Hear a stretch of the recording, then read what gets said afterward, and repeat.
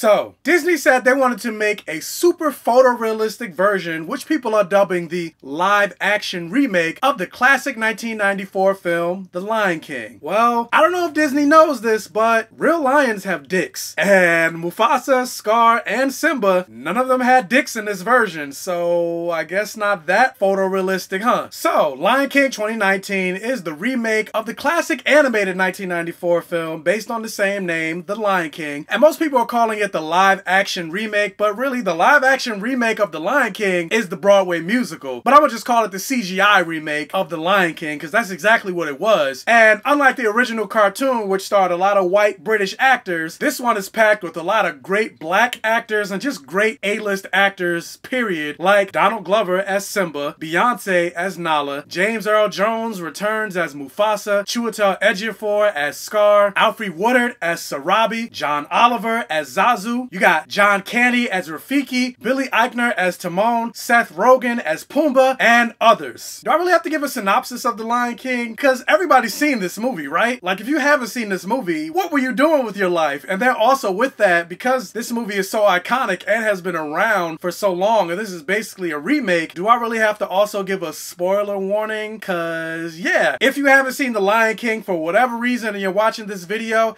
I'm going to talk about this movie. And by that, I'm going to talk about some of the plots in this movie. So, yeah, this is your spoiler warning for The Lion King, I guess. The great thing that I can say about this movie is visually, this movie is a masterpiece. Like, when the movie opens and the circle of life is playing and you see all the different animals and all the ways that the different animals move and the blades of grass and even the way the fur on these animals move in the wind, like, it all looks great. It reminded me of Jon Favreau's The Jungle Book and he also directed this movie and The Jungle Book, like, visually, that movie looked stunning. And it's the same thing with this movie. Like, again, it was a visual masterpiece, but that's it. That's all I can say about this movie. It looked beautiful. All right, guys, that's my review. Bye.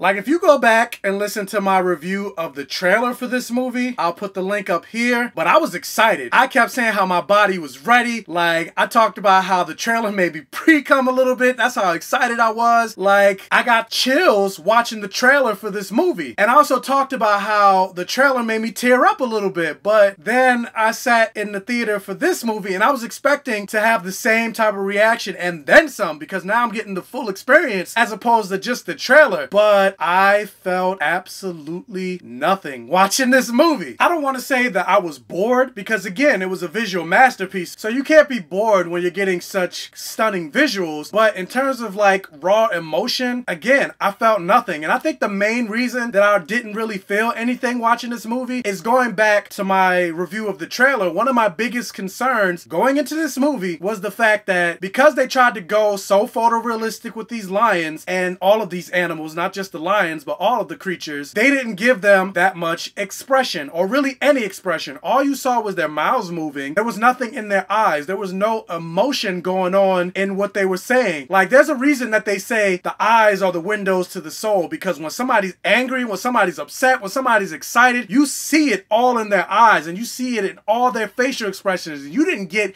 any of that in this movie. Like as everybody knows, and I already said we're going to talk spoilers, Scar is the villain of this movie. And at no point in this movie did you see any type of sinister smile on his expression. And that's the reason why I said in my opener that if they're trying to make this movie photorealistic, well, real lions have dicks. And I didn't just bring that up just to bring that up. I brought it up because A, well, I'm a vulgar person, so I went with the vulgar humor. But B, most importantly, the reason I brought it up is because I'm like, well, obviously you shirked a little bit on what you wanted to go with in terms of your realism. You didn't add the fact that lions have parts parts. You took away their genitalia. So if you're not trying to go that realistic, why not go all the way with it and still give them some type of facial expressions? Like we know lions can't actually talk in real life, but you see their mouths moving, so why not just go all the way with it? Like, take this iconic scene from the animated movie when Nala gives Simba the fuck me eyes. Like, Simba knew what that meant when she looked at him like that. Like, oh, and look at that smile that he gives. You see how Simba's looking down on her like, yeah, girl, I know what you want. There's none of that in this this movie. So it's like, although we got a lot of the same dialogue and songs from the original movie, it was given on these expressionless characters. And so the movie felt soulless to me. Also, as much as I love James Earl Jones and as excited I was for him to come back as Mufasa, I didn't want anybody else to voice the role of Mufasa but James Earl Jones. But even his voice acting didn't hit me like it did the original. And I'm not saying that I wanted him to perform the same line delivery that he did in the original cartoon, but James Earl Jones, he just, it felt like he was bored doing this role and he was just doing it to collect the paycheck. Like there was nothing in his voice that gave me the chills like his original Mufasa did. And a lot of times these were the same lines of dialogue. Sadly enough, I felt the same way about Donald Glover's Simba. Like, I love Donald Glover. I love Childish Gambino. But his Simba, uh, I didn't really care for it. And interestingly enough, as much as I talk badly about Beyonce not being that good of an actor, I liked her Nala way more than I liked Donald Glover's Simba. And I'm sitting in the theater like, wait a minute. I like Beyonce more than I like Donald Glover? What freaking bizarro world did I wake up into? And also, the same thing goes with Chiwetel Ejiofor Scar. Like, overall, I was a big defender of Chiwetel Ejiofor Scar. Chiwetel Ejiofor is a great actor, and I was excited to see what he would bring to the role. And, I mean, overall, he was a good Scar, but oh my god. Like, they took one of my favorite songs from this musical, Be Prepared, and it was completely butchered in this 2019 remake. Basically, they took the song, the lyrics of the song, and he just spoke it over the music. It became a spoken word song. And I'm just like, oh my god, what are you, what are you, what are you doing? I hated this version of Be Prepared. Like, this movie should have been a knock out of the park. Now, granted, movies are subjective, so there are probably people that will see this movie or have already seen this movie and absolutely love it. But for me, uh, this movie reminded me of a Buffy vampire, where the person looks the same, they have the same exact memories, but ultimately, it's a soulless demon walking around with that person's face. And that's basically what this movie was for me. It was a soulless recreation, beat for beat, copy and paste of what was. And hell, even a Buffy vampire is more interesting than what we got here because a Buffy vampire has facial expressions. And they didn't even really add anything new to this movie. Like, take the Broadway show, which was a real live action recreation. In the Broadway musical, they added songs to enhance the movie and make it better. And that movie was already perfect. So the fact that you can make it even more perfect with the songs that you add, like, great. There was no moment in this movie where you get something like, He lives in you, hey, uh, hey, hey, which they actually included in Lion King Part 2, or Shadowland, which Nala sang right before she left the Pride Lands to go look for help after Scar took it over, or the song Rafiki Mourns when Rafiki found out that Mufasa and which they believe Simba to be dead,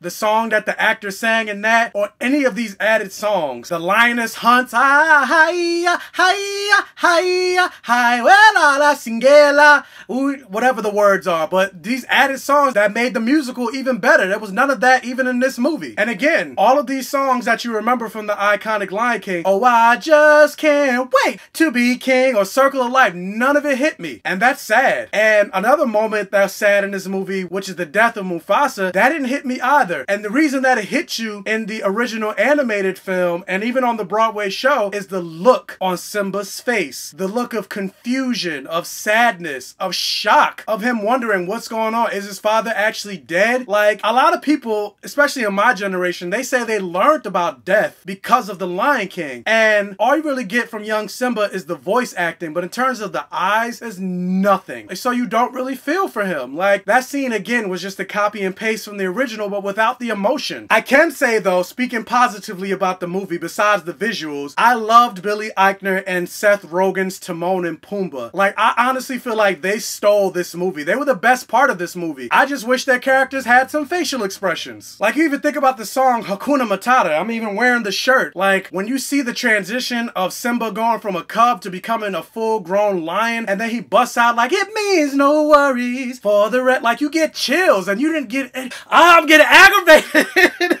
I really wish I liked this movie more than I did. I wanted to love this movie. This movie was on my top 10 most anticipated movies of 2019. But uh, I didn't hate it. I'll say that. But I would say for me, Lion King 2019, it just broke even. If I want to watch a better live action version of The Lion King besides the Broadway musical and the animated version, I was just going to watch Black Panther. So anyway, the 2019 version of Lion King. Did you see it? Did you like it? Did you love it? Did you hate it? Did you think it was okay? Let me know down in the comment section below. Also, if you can, please hit that thumbs up and like this video. It'll really help out the channel. And if this is your first time on my channel, please check out the other videos on my channel. If you like what you see, please subscribe for more and tell your friends, families, and neighbors about my channel to help me continue to grow. And as always, I'll catch you guys next time.